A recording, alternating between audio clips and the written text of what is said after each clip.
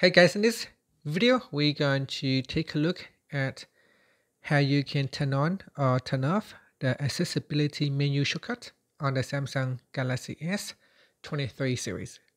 First tap on the home button to go back to the home screen. And from the home screen, swipe down at the top to open up the quick settings panel.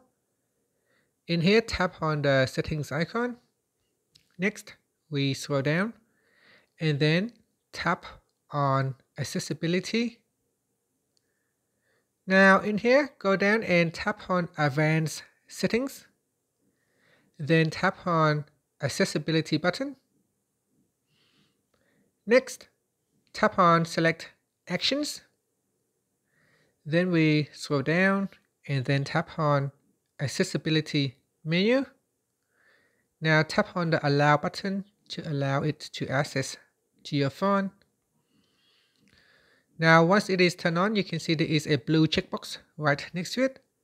So if you tap on the accessibility button at the bottom corner in the navigation bar, it will open up the shortcut menu. From here, you can tap on accessibility menu to turn on the accessibility menu. And from here, you can quickly access certain features such as power, accessibility buttons, volume up, volume down, and other items. So that's it. So that is how you can uh, quickly switch it on or off. And that's it. Thank you for watching this video.